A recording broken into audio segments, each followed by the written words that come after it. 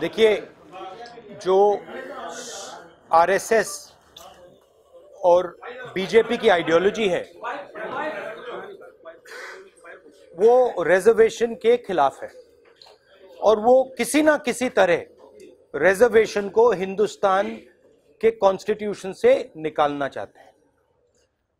Attempts होते रहते हैं एस सी एस टी सब प्लान।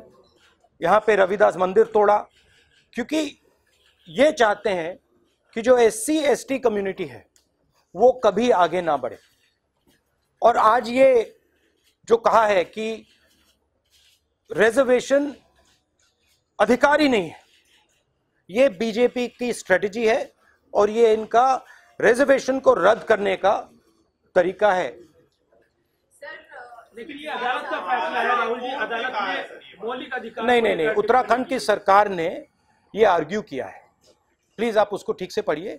उत्तराखंड की सरकार ने ये बात कोर्ट में आर्ग्यू की है। तो आप ये क्या आप ये डिमांड करते हैं कि केंद्र सरकार इस फैसले के खिलाफ रिव्यू पिटीशन सुप्रीम कोर्ट में दायर करे या संसद से जिस तरह से आपके मैं मैं ये कह रहा हूँ कि ये आरएसएस वाले बीजेपी वाले जितना भी सपना देख लें रिजर्वेशन को हम कभी नहीं मिटने देंगे। क्योंकि रिजर्वेशन कॉन्स्टिट्यूशन का एक बहुत डायरेक्ट भाग है। ये मेन मेन बात मेन बात कॉन्स्टिट्यूशन पर आक्रमण हो रहा है। आपने, आप देख रहे हो, आप देख रहे हो कि हर इंस्टीट्यूशन को तोड़ा जा रहा है। पार्लियामेंट में हमें बोलने नहीं देते हैं। आपने कल ही देख, परसों देखा जुडिशरी पे दबाव डालते हैं। तो इंस्टीट्यूशनल स्ट्रक्चर को तोड़ रहे हैं और जो भी मेन पिलर्स हैं हमारे देश के हमारे कॉन्स्टिट्यूशन को उनको एक एक करके एक एक करके तोड़ रहे हैं। और ये एक बहुत बड़ा कदम लिया है इन्होंने और हम हम इनको हैं। उसी समय सुप्रीम कोर्ट ने ये फैसला दिया कि एस का जो नया एक्ट है उसको अपहोल्ड किया है। वही एक्ट जिसको इस सरकार ने संसद से पारित करा है।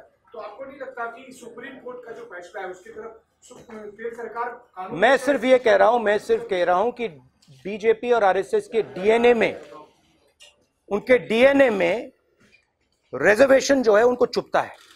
और वो किसी ना किसी तरीके से उसको खत्म करना चाहते हैं। और मैं यहाँ से कह रहा हूँ, हिंदुस्तान की जनता को कह रहा हूँ, और खास तौर से जो दलित ओबीसी एसटी के लोग हैं, उनसे कह रहा हूँ कि रिजर्वेशन को हम कभी नहीं मिटने देंगे। चाहे मोदी जी सपना देखें, मोहन भगवत सपना देखें, हम उसको नहीं होने देंगे। अच्छा आपने आपने जो सवाल पूछा था आपने कहा था कि ये कोर्ट का मामला है। यहाँ मैं आपको स्टेटमेंट पढ़ लेता हूँ। Mister Ranjit Kumar learned senior counsel appearing for the appellant in SLP number 25508 of 2019 mister Muhul, Mukul Rohatgi, Rohatagi and mister P S Narasimha learned senior counsel appearing for the state of Uttarakhand contended that there is no fundamental right to claim reservation in appointments or promotion to public posts. There is no constitutional duty on the part of the state government to provide reservations. तो ये आपको मतलब clear हो गया ना राहुल भैया जी जोशी का बयान आया है कि I'm, I'm, she wants me to speak in English. Yeah, so please, uh, can you uh, throw some light on uh, this entire matter that you're raising today? See, the, the issue is that the RSS and the BJP cannot stand the idea that Dalits, tribals, and OBCs have reservations. So it is in their DNA. They wake up every morning and this irritates them, right? Except it is in our constitution. And these rights are guaranteed by our constitution. They have attempted to remove reservation in one way or the other. You've seen what they did to the Ravidas uh, temple here. You've seen what they did to the SCST ST subplan.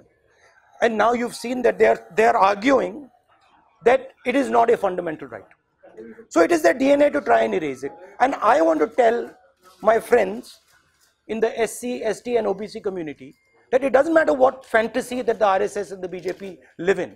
We are not going to allow this to happen. Rahul भैया जी जोशी का बयान आया है कि BJP का विरोध हिंदू का विरोध नहीं है The BJP doesn't mean that they're anti-Hindu. I'm not. I, you think that there's a change look, in I'm, I'm, I'm here uh, making a very important point. My point is that we are not going to allow the RSS and the BJP to erase reservations. What this